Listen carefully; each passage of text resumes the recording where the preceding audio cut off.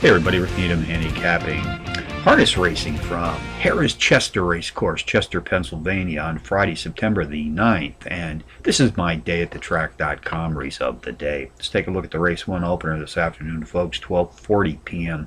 Eastern Post Time. Today we have Pacers racing for a purse of some $9,800. Contenders number 5, Art Maker, number 3, Booze Boy, number 4, BT Spice of Life, and number 7, Try.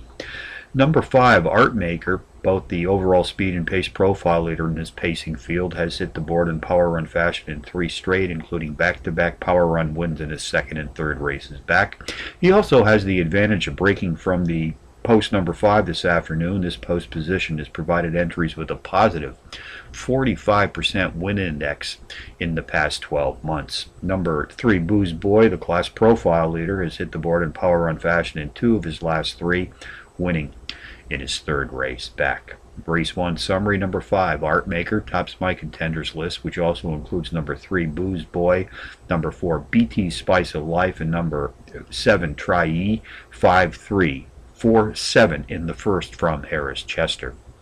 Bonus long shots, race 5, number 1 Basilio Blue Chip. A 5 to 1 shot, the overall speed and class profile leader in this pacing field comes off a power run place finish in this last start. Race 6, the 5 to 1 shot, number 7 Arctic Warrior has hit the board in power run fashion in both of his last two starts, including a power run win his last time out. So from Harrah's Chester on a Friday afternoon, Rick Needham for dayatthetrack.com, reminding you as always to please bet with your head not over.